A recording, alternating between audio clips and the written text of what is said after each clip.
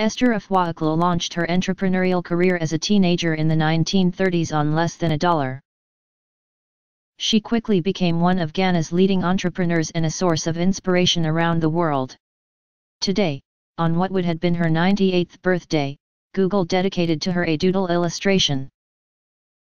In addition to her own business, she taught skills to other women and co-founded Women's World Banking, WWB, a global microlending organization. On its website, the WWB Microlending Network says it lends to 16, 4 million women around the world, managing a loans portfolio of over $9 billion. Bn. Known as Auntie Ocloo, Esther dedicated her life to helping others like her succeed.